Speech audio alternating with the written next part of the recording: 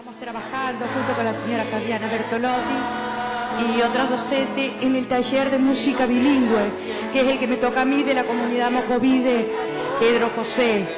Este trabajo ya lo venimos haciendo hace más de cinco años y en estos dos últimos años es donde los chicos recién se animaron a presentarse en público.